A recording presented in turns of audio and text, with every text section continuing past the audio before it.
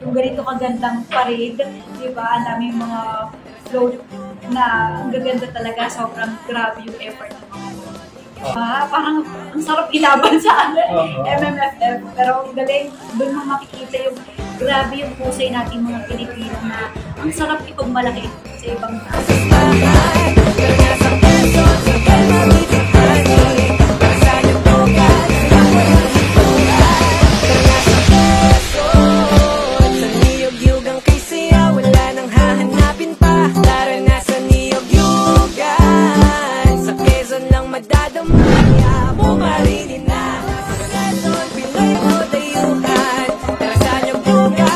solo